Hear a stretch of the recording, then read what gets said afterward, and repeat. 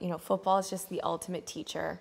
And every single time I step on the field, I feel like a rookie. I feel like I have so much to learn, that perfection is impossible. And all I can see ahead of me is how much I can improve and how much I can grow. And, and I really embrace that challenge.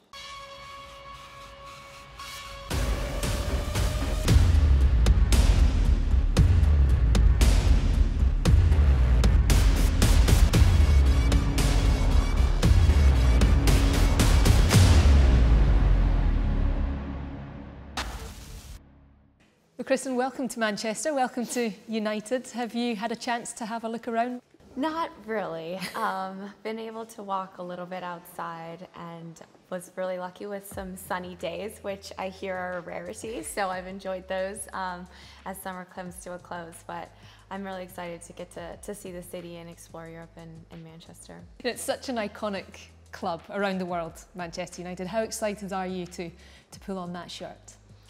Oh, this has just been so surreal with having shut down from playing for six months um, and and having no certainty to to my career future, uh, but but knowing that no matter what, you know, was going to stay committed to playing and, and being my best and, and then the opportunity to play for such a massive club that's going to be fighting for, for titles this year um, is it's just a dream come true. And I feel like this is a fresh opportunity to to take my career to the next level and um, I'm so grateful for that it's such a great opportunity to be able to play in a consistent and high level environment for the next season is is everything that I could have asked for. I think in the end what I want to do is is compete for titles and, and that's what we're going to do and uh, the team and Casey what they've put together is really really strong and even though it's a, a young club and in the first division that the goals and the ambitions of the team and the club and the coach are at the highest level and, and that's what I look for.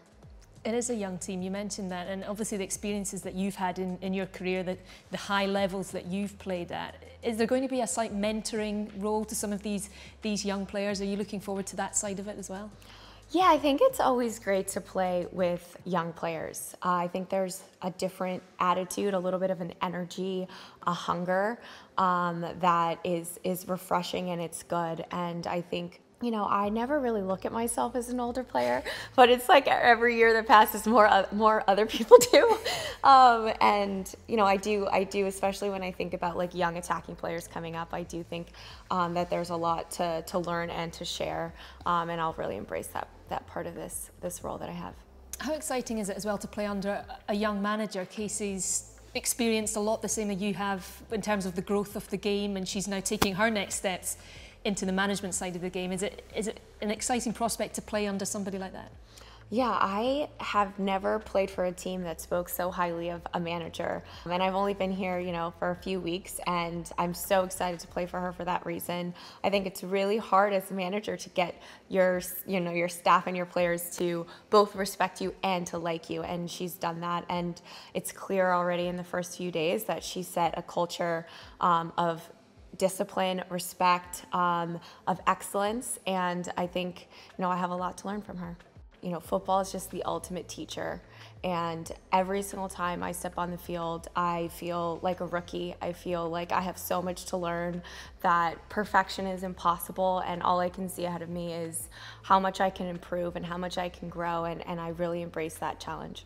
I think it, for us, when we see the success of of the US team and the US players, to hear you say you still have things to learn, it, it's quite incredible.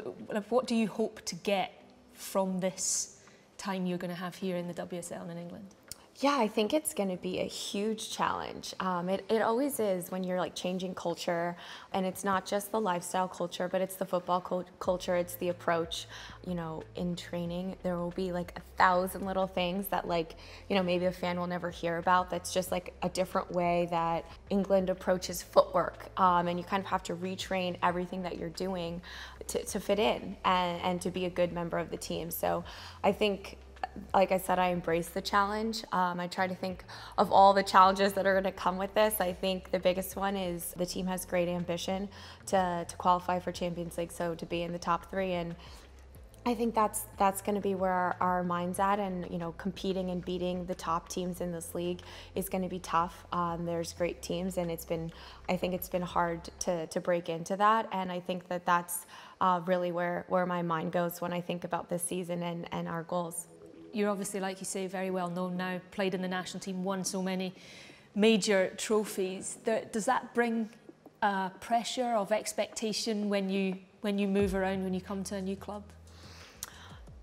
no, it, it doesn't. It doesn't. I think, like, in the end, when you have played in, you know, high pressure situations for so long, that just kind of is a given.